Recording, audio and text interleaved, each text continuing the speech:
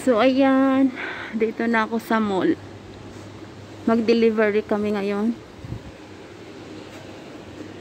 Is around 8 o'clock yung pasok namin. Delivery time.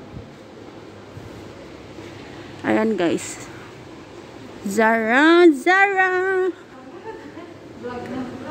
Palimera! Say hello! Morning, morning! Morning. Hi. Ano? Kumusta? Ito, beautiful rin. Di ba? Ba't wala pa yung iba? Ha? Upa. Yung iba wala pa.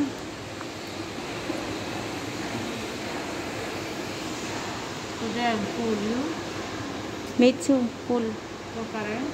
Eh, we have today's after ongoing. Yesterday. I know. You work yesterday? Wednesday, you're off. Oh. Monday and Wednesday, you're off. Um, Tuesday and Wednesday. Oh. Oo nga pala, Wednesday wala siya. And yesterday I finished fine. But it's better to finish more early. You to go from here to cook to uh, to the work. At balon mo. Wow, nakasara. Hanga nasakit.